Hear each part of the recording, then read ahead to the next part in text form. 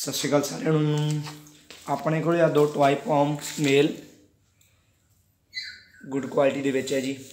ਦੋ ਮੇਲ ਹੈ ਜੀ ਟਵਾਈ ਪੌਮ ਸੇਲ ਹੈ ਜੀ।